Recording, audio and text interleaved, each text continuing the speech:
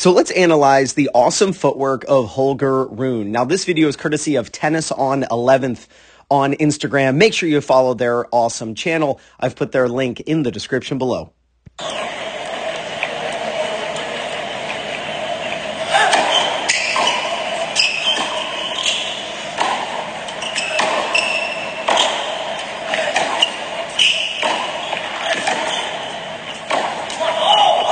Now, I would highly recommend that you go out and film yourself playing so that you can compare what you're doing with what you're going to learn in this video.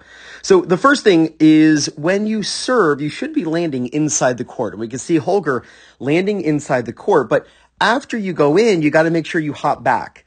And that's what he does. Watch how he hops backward. So now his heels are on the baseline. So he lands inside the court, but then he hops back. You want to do this in case the return is hit very deep. Then you're not pinned with a ball near your feet.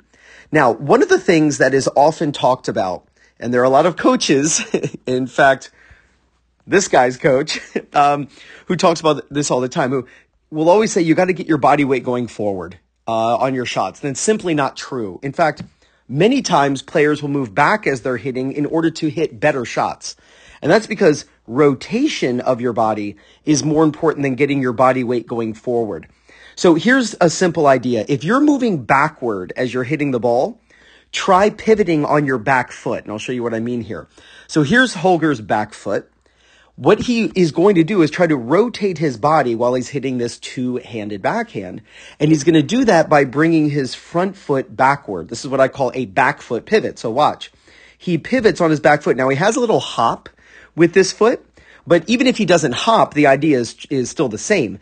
The back foot is the pivot foot and he's moving the front foot back. This allows his hips to turn. So here his hips are basically facing this lines judge right here, that lines judge. And then look here, his body is now facing the net. So there's rotation.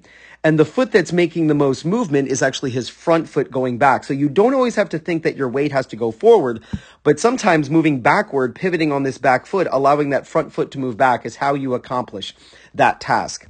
So he then recovers back a little bit back toward the center again. Here's the split step right there. By the way, the split step, you want to be in the air. Like right now is when the opponent is hitting the ball because he's in the air and that synchronizes his brain and his reaction time with when his feet are going to hit the ground. So here is what is called a closed stance fallout when here he's leaning forward. So since he's leaning forward, now he's going to pivot on his front foot. When you're leaning into a shot, you pivot on the front foot. When you're going back, as I mentioned, you pivot on the back foot. So look at this. Notice he pivots on this front foot. So even though he is hitting with a closed stance, and notice his front foot is pointing off to the side. I know it's very common that people talk about having the front foot trying to point forward. Simply not the case. You're just going to pivot on this front foot. And notice though, he finishes in an open stance. So closed stance ends up in an open stance. Again, you do that because why? Rotation of the hips is paramount. So you've got to rotate your body. Now, this is a cool little, uh, uh, you know, footwork right here. Watch what he does.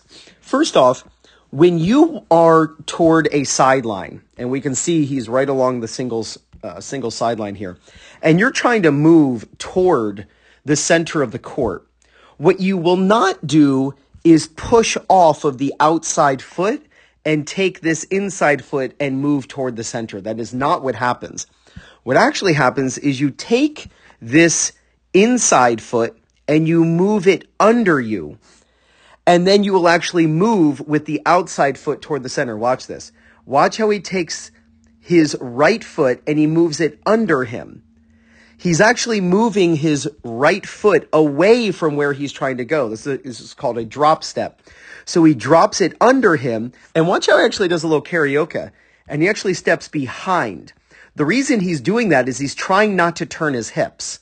He's actually trying to move back slightly away from the baseline. He's not trying to move parallel to the baseline, but he's trying to move away from the baseline to give himself a little more room and a little more time but he wants to keep his hips facing forward. So he does not want to cross in front because if he did that, he would have to swivel his hips. and that would actually make him late if the ball comes back to the same corner. So he actually steps behind and that helps him to keep his hips facing forward because once he takes that step, then there's the split step right there. He's actually, that right there is his split step in the air really cool thing. So when you are outside the court and out by the doubles alley, you actually want to take this inside foot toward the inside of the court and you drop it under and you drop it actually away from where you're trying to go, that makes it very easy for him to lean the direction he's trying to go, and it's actually faster. So here is what is called an, a mogul stance. A mogul stance is this move right here.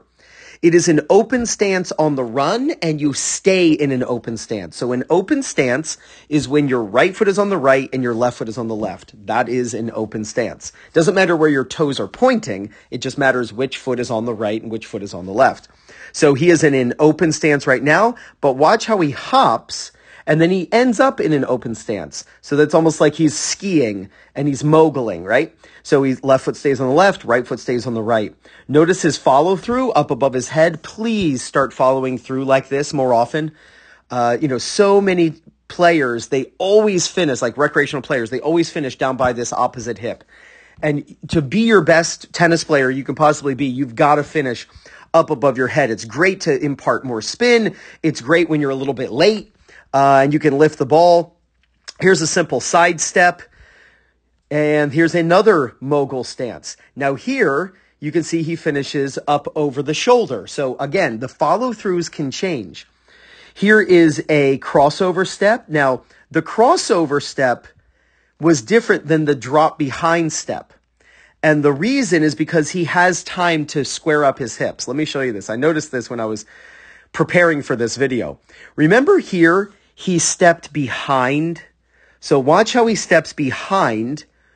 And that is because once he does the step behind, he immediately has to split step. So that's his split step right there. So watch again. He steps behind and then right there is the split step. And then he immediately starts running. So let's look at this one. Why does he step in front? Why is he willing to move back slightly, but turn his hips? And that's because when he crosses over, he has another step and that's the split step right there. So since he knew he had an extra step available to him, he was willing to cross in front. It right here, he did a cross in front because he knew he had time to square up his hips by the time the shot was hit by the opponent.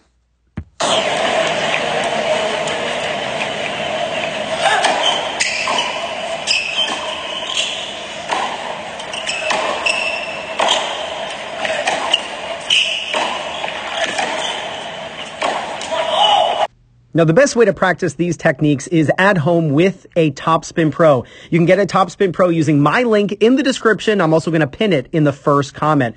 I absolutely love the Topspin Pro, and I know you will too. And if you're looking for people in your local area to play matches against or practice with, or if you want to find a coach who's close to you who can help you with your game, then use my link in the description and pinned in the first comment. Playyourcourt.com slash two minute tennis. When you use my link to sign up, you get 50% off. Please go out and film yourself playing matches and compare what you learned in this video to what you see when you review your own footwork. And if you do, there's no doubt you're going to gain confidence, win more matches, and play much better tennis. This is Ryan Reidy from 2minutetennis.net.